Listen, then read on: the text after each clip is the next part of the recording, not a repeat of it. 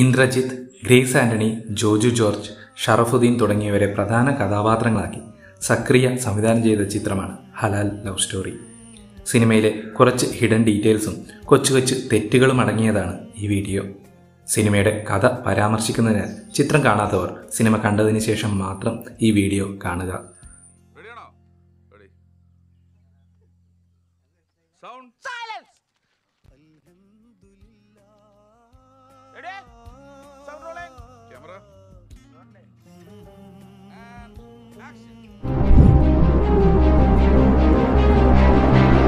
സിനിമയുടെ പേരിലേക്ക് തന്നെ ആദ്യം വരാം. ഹലാൽ എന്ന വാക്കിന്റെ അർത്ഥം അനുവദനീയമായ ഇസ്ലാം മതത്തിനനുസരിച്ച് എന്നൊക്കെയാണ്. തൗഫീഖ് എന്ന കഥാപാത്രം തിരക്കഥയുമായി സിറാജിനെ കാണുമ്പോൾ കഥയ്ക്ക് ഇട്ടിരിക്കുന്ന പേര് മൂന്നാമതും ഉന്മ എന്നായിരുന്നു. അത് മാറ്റിയാൽ നന്നാവുമെന്ന് സിറാജ് പറയുന്നുണ്ട്. മാറ്റാൻ തൗഫീഖ് സമ്മതിക്കുകയും ചെയ്യുന്നു. തുടർന്ന് ചിത്രീകരണം തുടങ്ങുന്ന സിനിമയുടെ പേര് മാറ്റിയതായി എവിടെയും പരാമർശിച്ചിട്ടില്ല. ഒരുപക്ഷെ ഹലാൽ ലവ് സ്റ്റോറി എന്നത് ആ ഷോർട്ട് ഫിലിമിന്റെ പേരായിരിക്കാം. സിനിമയിലെ ഒരു രംഗത്ത് ചിൽഡ്രൻ ഓഫ് ഹെവൻ എന്നുള്ള ചിത്രത്തെപ്പറ്റി പരാമർശിക്കുന്നുണ്ട്. ഇറാനിയൻ സംവിധായകനായ മജീദി മജീദി സംവിധാനം ചെയ്ത ചിത്രമാണ്. ഇതേ സംവിധായകന്റെ മറ്റൊരു സിനിമയും ഈ സിനിമയിൽ പരാമർശിക്കുന്നു. ദ കളർ ഓഫ് പാരഡൈസ് എന്ന സിനിമയുടെ സി ഈ സീനിൽ അലമാരയിൽ വ്യക്തമായി കാണാൻ സാധിക്കും. സുഹറ ഒരു ബുക്ക് ലൈബ്രറിയിൽ നിന്നും എടുത്തുകൊണ്ടുവരുന്ന സീനുണ്ട് ചിത്രത്തിൽ. ആ ബുക്കിന്റെ പേര് ആൻ ആക്ടർ പ്രിപ്പയർസ് എന്നാണ്. ഒരു ഇംഗ്ലീഷ് പുസ്തകം വായിക്കണമെങ്കിൽ സുഹറ നല്ല എഡ്യൂക്കേറ്റഡ് ആയിട്ടുള്ള യുവതിയാണെന്ന് സംവിധായകൻ പറയാതെ പറയുകയാണ് ഈ സീനിലൂടെ. ഷൂട്ടിംഗ് തുടങ്ങുമ്പോൾ എല്ലാവരും ദീപം തൊട്ട് വണങ്ങുമ്പോൾ ക്യാമറമാൻ അത് ചെയ്യുന്നില്ല. അയാൾക്ക് അതിലൊന്നും വിശ്വാസമില്ല എന്നുള്ളത് അയാളുടെ സ്വഭാവത്തിലൂടെയും മറ്റ് പല സീനുകളിലും കാണിച്ചു തരുന്നുണ്ട്. അഭിനയ ക്യാമ്പിൽ ഷറഫുദ്ദീൻ ഇട്ടിരിക്കുന്ന ടീഷർട്ടിൽ എഴുതിയിരിക്കുന്ന വാചകം റവല്യൂഷൻ സോൾ ആൻഡ് സോയിൽ എന്നാണ്.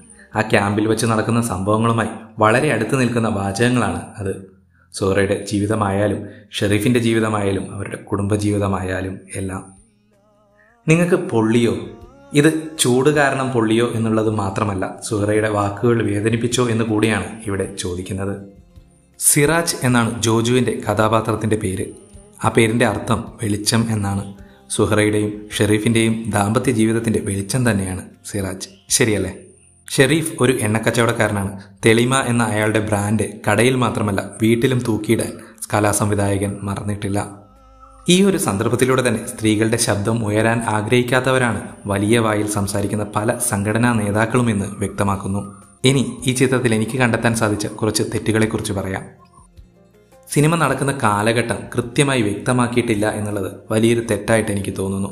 പലപ്പോഴും പരസ്പര വിരുദ്ധമായാണ് കാലഘട്ടങ്ങൾ കാണിക്കുന്നത്. പ്ലാച്ചിമട വിരുദ്ധ പ്രവർത്തനങ്ങൾ നടക്കുന്നതായി കാണിക്കുന്നുണ്ട്. കൊക്കോകോള ആ ഒരു സംഭവങ്ങളൊക്കെ നടന്നത് സ്റ്റാർട്ട് ചെയ്യുന്നത് ഏർലി രണ്ടായിരത്തിലും രണ്ടായിരത്തി നാലോടെ അവസാനിക്കുകയാണ് ചെയ്തത്. അങ്ങനെയെങ്കിൽ ഒരു ഏർലി രണ്ടായിരമാവും കഥ നടക്കുന്നത്.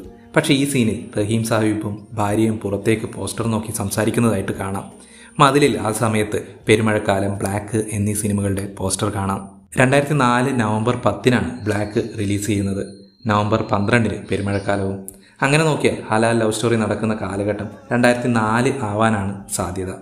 എന്നാൽ തൗഫീഖ് സിറാജിനെ കാണാൻ ബാറിൽ ചെല്ലുമ്പോൾ അബി എന്ന കഥാപാത്രം വായിക്കുന്ന സിനിമാ വാരിക നാന.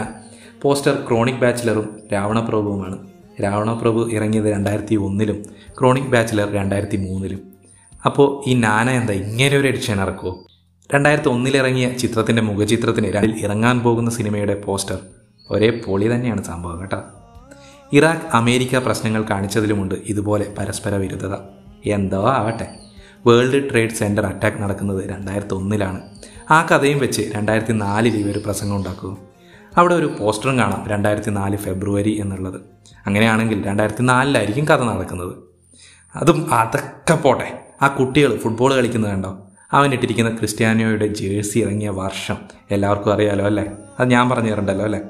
ഇനി ഞാനൊന്നും പറയുന്നില്ല. എനിക്കിത് കണ്ടു വട്ടായി. ഈ സിനിമയുടെ കഥ നടക്കുന്ന കാലഘട്ടം നിങ്ങൾക്ക് ആർക്കെങ്കിലും അറിയുമെങ്കിൽ ഒന്ന് കമന്റ് ചെയ്തേക്കണേ. അഭിനയ ക്യാമ്പിൽ വെച്ച് സുഹറയെ പാർവതിയുടെ കഥാപാത്രം കണ്ണ് കെട്ടി ഒരു സ്ഥലത്ത് ഇരുത്തുന്നുണ്ട്. അപ്പോൾ സുഹറയുടെ പിറകിൽ ഒരു ടേബിളിന് മുകളിൽ കുറച്ച് ബാഗുകൾ നിരത്തി വെച്ചതായിട്ട് കാണാം. പക്ഷേ തൊട്ടടുത്ത ഷോട്ടിൽ അവിടെ ഒന്നും അവിടെയില്ല. അതുപോലെ തന്നെ അവിടെ ഇരിക്കുന്ന ചേട്ടനും ചേച്ചിയും പോലും അപ്രത്യക്ഷമായി പോയി. പിന്നെ നേരത്തെ ഞാനൊരു ടീഷർട്ടിന്റെ കാര്യം പറഞ്ഞിരുന്നു. ഷറഫുദ്ദീൻ ഇട്ടത്. അത് ആ ടീഷർട്ട് ശരിക്കും ഷറഫുദ്ദീൻ അടിച്ചു മാറ്റിയതാണെന്നാണ് തോന്നുന്നത്. കണ്ടോ? ഈ ഒരു സീനിൽ ഇതേ ഈ പുള്ളിക്കാരനിട്ട ടീഷർട്ട് തന്നെയാണ് പുള്ളിക്കാരന് കിട്ടിയിരിക്കുന്നത് അടിച്ചു മാറ്റിയതായിരിക്കുമല്ലോ ഒരേ ടീഷർട്ട് രണ്ടുപേർക്കും ഉണ്ടാവും. സിറ്റുവേഷൻ കാരണം അതെടുത്തിട്ടതായിരിക്കാം അല്ലേ? അപ്പോൾ ഇത്രയുമാണ് ഈ സിനിമയിൽ എനിക്ക് കണ്ടെത്താൻ സാധിച്ച ഹിഡൻ ഡീറ്റെയിൽസും മിസ്റ്റേക്കുകളും ഇതിൽ കൂടുതൽ നിങ്ങൾക്ക് എന്തെങ്കിലും കണ്ടെത്താൻ സാധിച്ചിട്ടുണ്ടെങ്കിൽ തീർച്ചയായും താഴെ കമന്റ് ചെയ്യുക. ഞാൻ പറഞ്ഞിരിക്കുന്നതിൽ എന്തെങ്കിലും തെറ്റുണ്ടെങ്കിൽ തീർച്ചയായും അതും കമന്റ് ചെയ്യുക. ഇതുപോലുള്ള വീഡിയോയ്ക്കായി ഈ ചാനൽ സബ്സ്ക്രൈബ് ചെയ്യുന്ന കാര്യം പരിഗണിക്കുക. വീണ്ടും കാണാം. അതുവരെ ബൈ ബൈ.